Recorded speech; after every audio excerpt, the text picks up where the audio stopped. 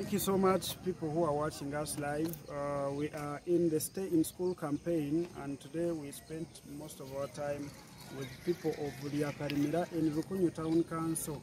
Uh, basically, we are looking at how we can work hand in hand with the students, school administrators, and uh, the section of certain communities to end the high rate of school dropouts in Kamwenge. And uh, today students of Kamwenge Secondary and Vocational School.